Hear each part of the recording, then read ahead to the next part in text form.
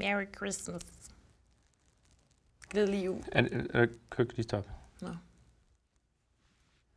Undskyld, det er, ikke, det er ikke dig. Det er bare, jeg sidder lige her. Okay. Det er altid jul her og sådan noget. Der er, så er lige nogle ting, der, der kommer tilbage. Okay. Noget, du vil snakke om?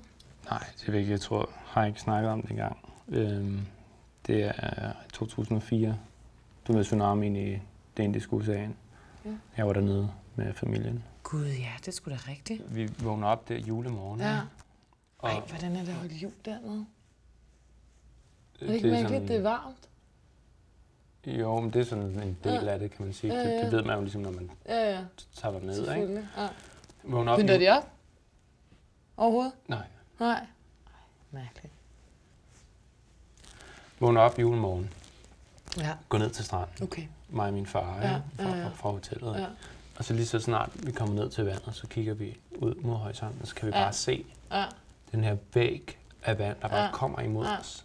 ja, ja. Er det noget, har arrangeret, eller hvordan? Det var en tsunami. Ja. Ja. Ja, ja. Ja. Jo, jo. Okay, Ja, for den præcis. kommer om morgenen. Om morgenen, ja. Ja, Kommer okay. imod os, og vi Ja. styrter bare op til hotellet. Okay, ikke? så og skal man bare væk. Så skal man Så skal væk, man ja. væk, ikke? Ja. Så løber vi op til, øh, på taget, ja.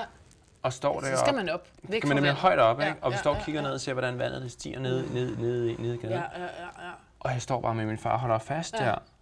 Og vi kigger på hinanden, Ja. og jeg tænker bare, klarer vi den her? Ja. Gør I det? Ja. Ja. Ej, mand. Ja. Hold da kæft. Shit, mand. Ja. Det er også bare det der med, at vand det bare ødelægger alt. Præcis, det er jo det. Ja. Elisabeth, der, min gamle roomie og mig, vi havde vandskade ude i køkkenet, ikke? Jeg mener seriøst, det var et forfærdeligt syn.